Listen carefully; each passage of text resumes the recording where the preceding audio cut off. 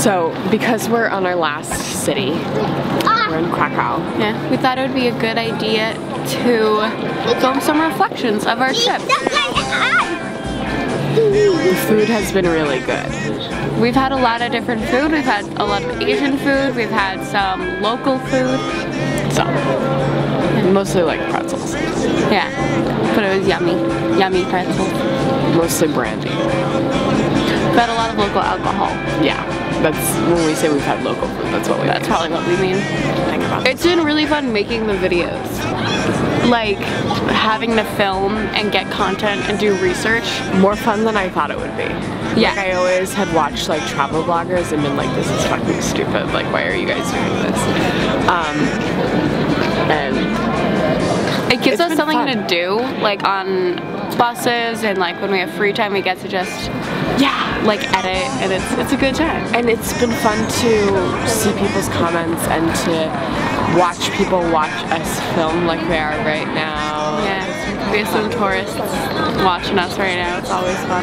It's been fun to have other like backpackers. The few backpack, not a lot of people are traveling right now, which is, has been really nice. And we'll make another little comment on Yeah. that. But Everybody who's all seen the other us- backpackers are like, "What blog are you with?" And we're like, "Facebook." they're like, oh, do you have like a channel? Like, can we? Follow? It's to the point where at one point we were like, "We should try to get Teen Vogue to publish us." yeah, And then We never- we never said that. But like we filmed a video. we did film a video. Um, See it in the bloopers. Yeah. Um, what else? Another thing that's been really fun has been uh, doing like history of these places. Yeah, Like I had fun researching. I look like a bumpkin. I had fun learning. Um, we've had a lot of fun just walking around in these cities and like exploring it. Yeah, and like having fun doing it. So basically what we've done here is not had a plan or like we had an itinerary of what buses we were taking and where we were staying.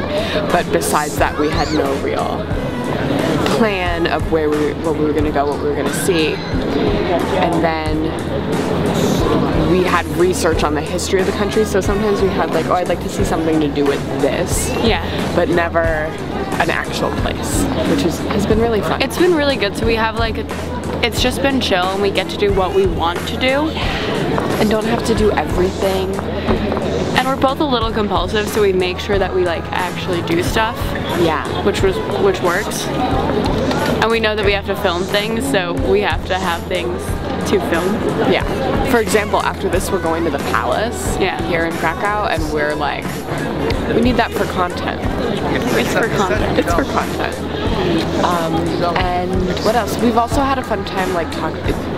We'll have parts of the trip that we just like don't film. Like we got to Krakow yesterday at noon. Haven't filmed any. Anything, which is nice. So we get to like just appreciate where we are. part of it where we just like go eat and like walk around without worrying about what we're filming. Yeah, just nice. We've met a lot of really amazing people on this trip. Um, yeah, cool locals, some backpackers and stuff. They were Yeah. kind of lame, but like random people on buses from like not even necessarily from like around here but like for instance we like met some like Austrian filmmaker on one of our bus yeah, and we met a cool. We met. Remember that mom and that daughter on the bus Yeah. to Kosovo? yeah Who were like so funny. we met a cool guy from Kosovo as well who was coming back from a Halloween party so he still had like his Halloween makeup Oh on it God, was that so fun. He gave us a flashlight. he gave us a flashlight it was cool um Um, like random people that we've kind of just met along the way. It's been really nice. People who are like doing hikes and traveling. Um, there's a lot of been a lot of like miming. People don't. Yeah.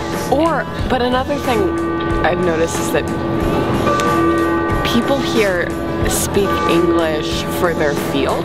So, like, versus in France, if you, you either speak fluent English or you speak none. And, like, that's a complete difference. Yeah. Here, you either, like, peop everybody speaks it to a certain extent. Yeah. Like, Yeah. everybody's able to hold a conversation about what you need to do, or somebody else is willing to help. What a good trip. It's been a really good trip. Like, I don't know. we were we were very we were under the impression that it would be like cold and kind of grimy and people kept being really like mean about this part of the world. Yeah, like people were talking shit. Yeah, people we have one friend who called it The armpit of Europe. yeah. This is definitely not the armpit of Europe. I think you could make the argument that England is the armpit of Europe, but that's just Let's not get too controversial on here. Um, maybe I just like food too much. I, I agree. um, but there's so much like cultural diversity in all the places. It's beautiful. Like the buses, I was like, oh no, we have to take too many buses. But going through the Our countryside, worst bus was a million times better than I expected any Yeah. of them to be. yeah, they're like it's gorgeous. Yeah. And we paid like so little for this trip. Like I don't think people understood that of when we told them what this trip was because We've been sleeping on buses. we've been like- sleeping on buses. We've been buying cheap food. It's been so nice. Also, things are just cheap here in general, so it's perfect. Um, we get free shit. People gave us like free shit, which is nice.